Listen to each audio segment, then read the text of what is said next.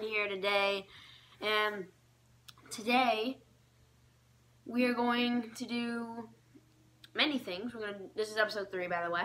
So hopefully you guys have been watching episodes one and two, because this is where we get into things. Because this is where I'm going to start doing Player of the Week. So Player of the Week is where I pick players out that I find had done really good and have done better than any other player I've seen in that entire week, and kind of place them there because it's been and it's going to be based off like one, maybe two, maybe even their entire stat line, and we can just look at that stat line and just kind of base off who was the player, who was the player of the week for that week. Now, player of the week is going to be based off the last week, um, while the predictions will be based on the future week. So you might be thinking, oh, but this guy was the player of the week this week. How can you predict he was player of the week now? Well, that's because I predict. That's because that was the, what I, my opinion was on the player of the week for the last for last week, and the predictions will be based off future games that will happen in the following week. So, um, this is Colin Baier on Colin's Sports Talk, getting into player of the week. Um, again, no Max Gibbs. He's not here this week. it's me all alone once again. Anyways, Colin here, Colin Sports Talk, Player of the Week. Let's go.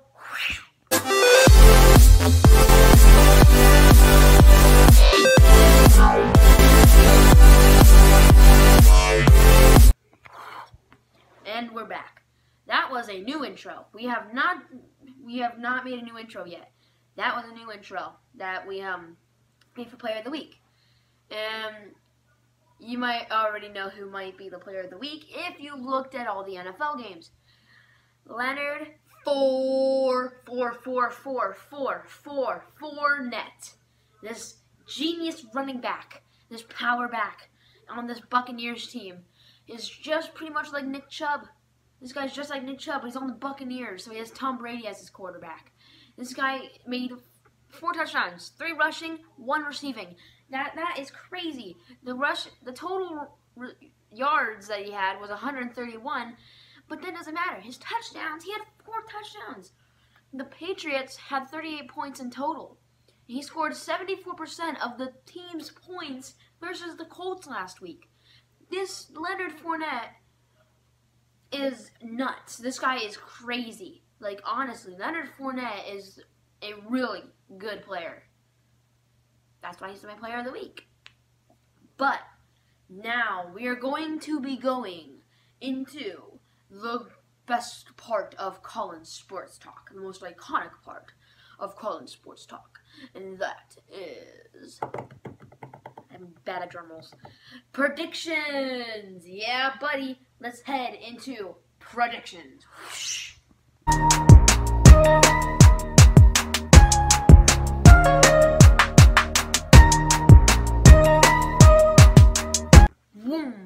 Same old intro for that section. Um, so, predictions, the most iconic part of this entire show. It's pretty much what this show is made from predictions, where we predict every single game heading into week into week insert number. Um, this week is week 13. As you might have known, we're heading into week 13, and we have just come from a pretty, actually solid week where we haven't seen that many upsets. Um, if I was correct, I think last week I went six and six on official records.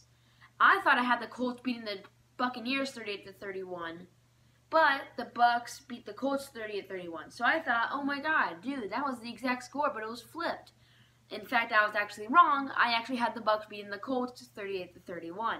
So that gave me an extra, that gave me a win right there. Um, I'm getting off track. We have to do predictions now. Hopefully, you guys are excited. Um, really, the Dallas New Orleans Saints game Thursday Thursday night football at 8:20 p.m. This game already happened. This is made on a Saturday night. The game already happened. I did predict though that Dallas was going to beat New Orleans.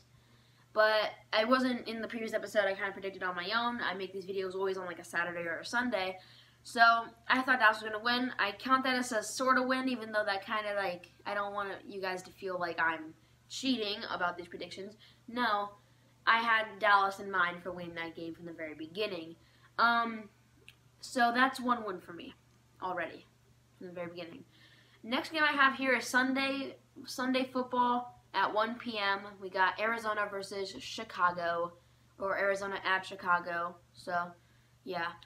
The Windy City, the windy effects of the Windy City ain't affecting Arizona. That game is gonna Arizona's gonna highest score that is gonna pretty much destroy the Bears all day, every day.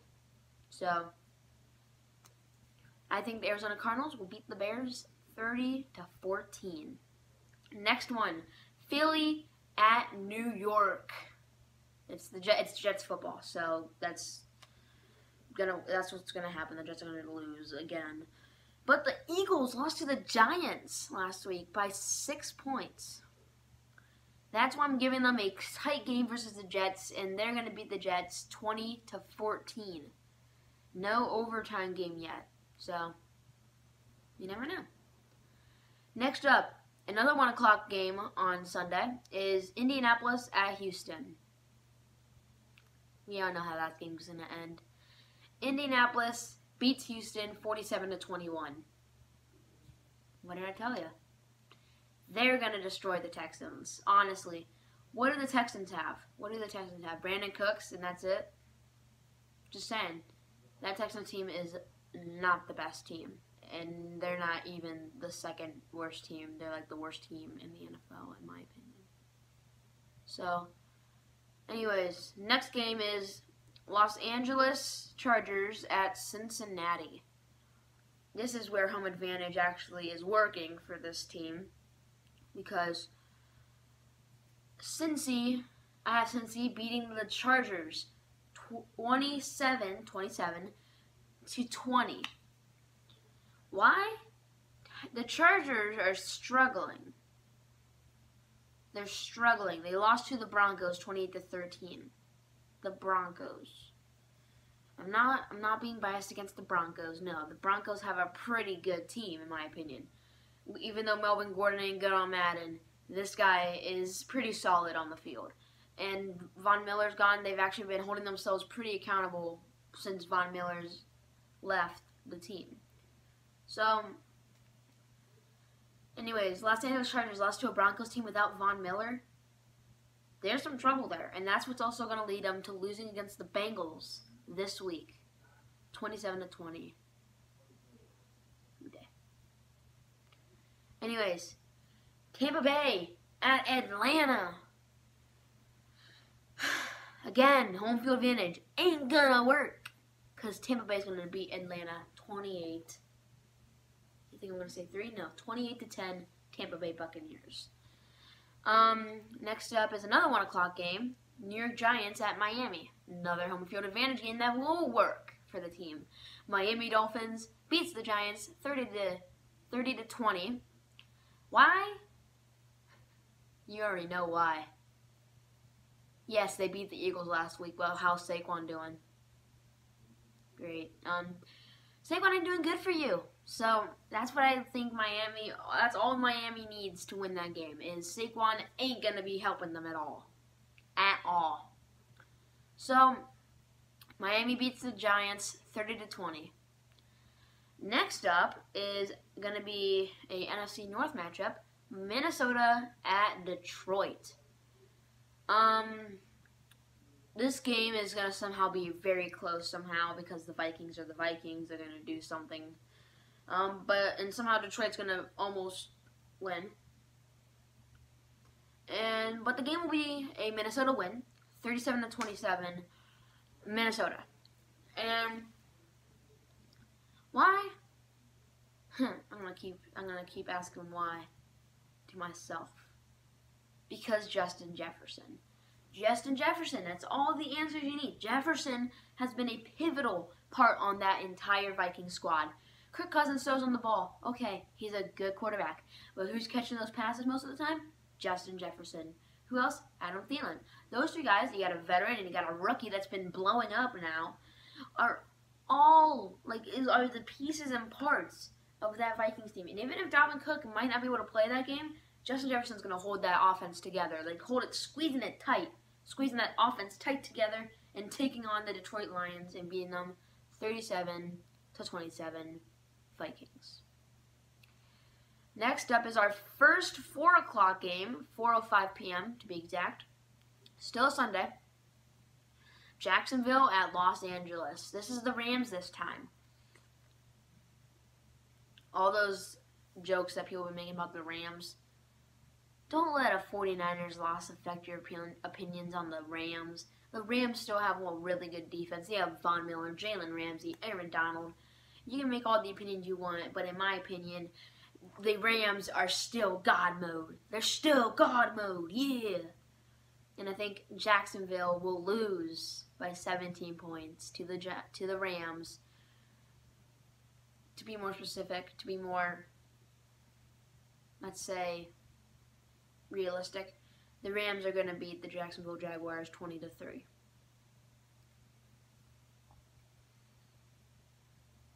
Make sense? Got it. Next one. Another 4:05 p.m. game. Washington at Las Vegas. Mm, that is going to be a close game, but a low-scoring game. It's going to be like Washington versus Seattle. It's going to be a low-scoring game and a very close game too. And this is Washington's second win. With this is what I think is Washington's second game was scoring. I went. This is Washington's second game in a row with winning by less than a touchdown, in my opinion. They will beat Las Vegas for 17 to 14, not in overtime. Anyways, our first 4:25 p.m. game on Sunday night is held in Pittsburgh, and where Baltimore Ravens go to Pittsburgh and play the Steelers. Now, some people think that Steelers are going to beat the Ravens, and I sure do hope so. But another reason why I think the Ravens should beat the Steelers, because they're the Ravens, one, and two, that gives a chance for Cleveland to hold on the on the cocky Ravens and take their butts out of of Cleveland next week. By the way, Browns are not playing this week, so I'm gonna wear my Myles Garrett jersey, but no Browns are playing, so I'm gonna be kind of quite sad, quite sad. But I think Baltimore squeezed against Pittsburgh, 30 to 27. Well, no overtime games, just a really close game throughout the entire game. Some way, somehow, Steelers are going to take the lead at one point, but Ravens are going to win 30 to 27. That's your final score.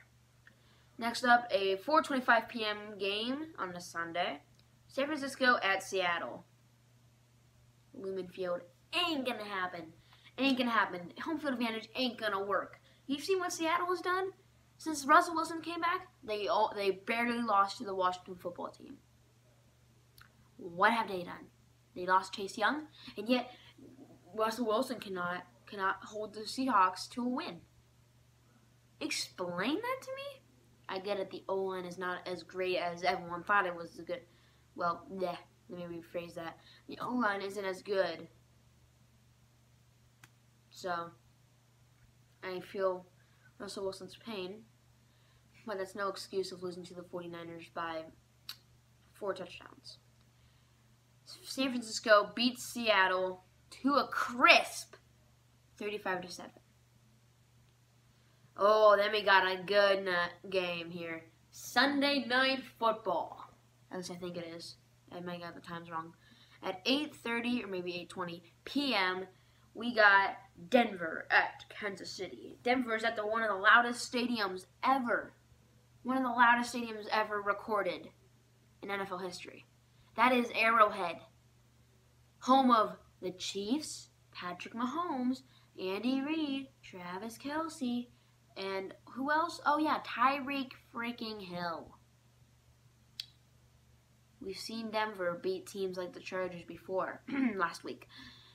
So, what if they beat the Chiefs? Are they contenders in the A- in the AFC West? Highly unlikely. But I'll give them a shot here. And if they lose, that just takes my record down the drain. I think Denver will beat Kansas City in Arrowhead 18 to 13. Close game. I think Denver might pull out. And finally, my one of my favorite games of the week, honestly. New England at Buffalo to prove who is the who is the eh, who is boss in the AFC East. The Patriots, led by Bill Belichick and Mac Jones, or the Bills, led by Sean McDermott or Josh and Josh Allen. This is going to be a very close game, a very good game, a very great, well-rounded game. And I think the Bills are going to pull out. Beat the New England Patriots 28 to 21. The funny thing about this, this win is in overtime. 21-21 heading into the overtime period. And the Bills and the Patriots go back and forth twice, and there's one minute left. The Bills lead a game-winning drive. First play, 76 yards of Stefon Diggs, makes it to the 20-yard line of the Patriots.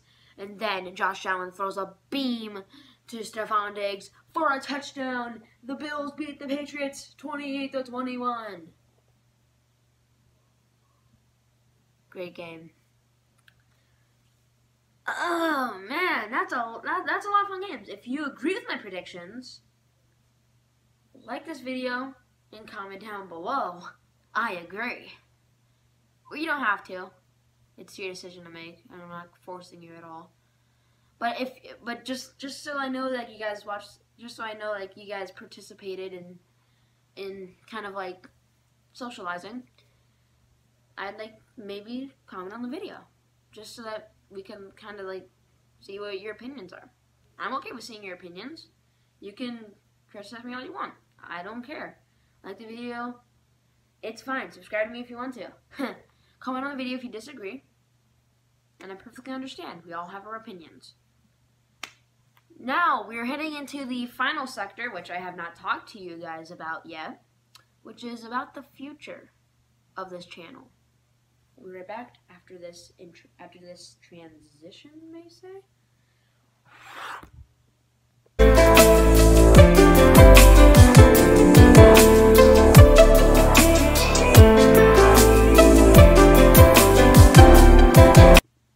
Boom.